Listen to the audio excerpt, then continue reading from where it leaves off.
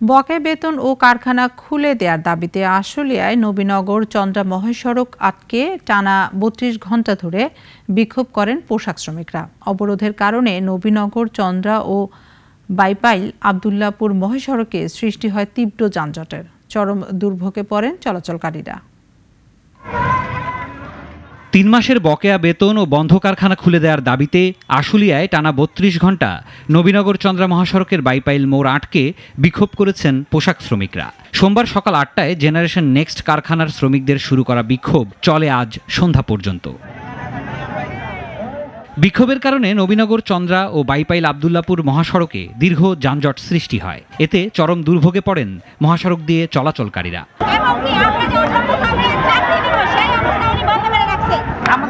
চাউল নাই বাচ্চার খাবার নাই। শ্রমিকদের অভিযোগ কর্তৃপক্ষ চার মাসের বেতন বাকি রেখেই কারখানা বন্ধ করে দিয়েছে। বিজিএমইএ পুলিশ প্রশাসন সহ বিভিন্ন মাধ্যমে বারবার বলা হলেও কাজ হচ্ছে না।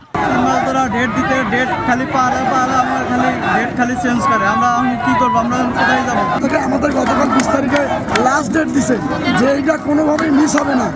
কিন্তু তারপরও তারা বেতন আমাদেরকে দেয় না মালিক পক্ষের সাথে যোগাযোগ করে পরিস্থিতি নিয়ন্ত্রণে নিয়েছে পুলিশ। মূলত তাদের বেতন প্রদান প্রদান করতে না পারার কারণে সাধারণ সঙ্গে ঘোষণা করে রেখেছিল। শ্রমিকদের আগস্ট এবং সেপ্টেম্বর দুই মাসের বেতন পরিশোধ না করার কারণে শ্রমিকরা বিভিন্ন সময় আন্দোলন করে। শুরুতে দাবি আদায় না হওয়া পর্যন্ত সড়ক না ছাড়ার ঘোষণা দিলেও পরে প্রশাসন ও মালিক পক্ষের আশ্বাসে সড়ক ছাড়েন শ্রমিকরা। সিরাজুম সিরাজুম্মনি শুভ নাগরিক।